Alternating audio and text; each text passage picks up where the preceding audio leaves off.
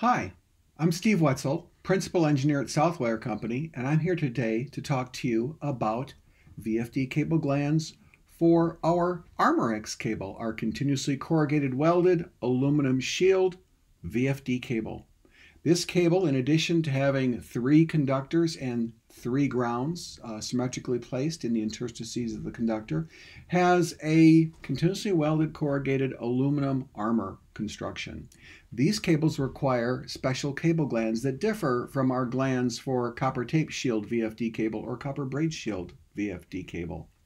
The glands look like this. We have it available in two constructions. One construction, it simply provides uh, a watertight sealing. A second construction, which provides uh, Class 1 Div 1 explosion proof ratings.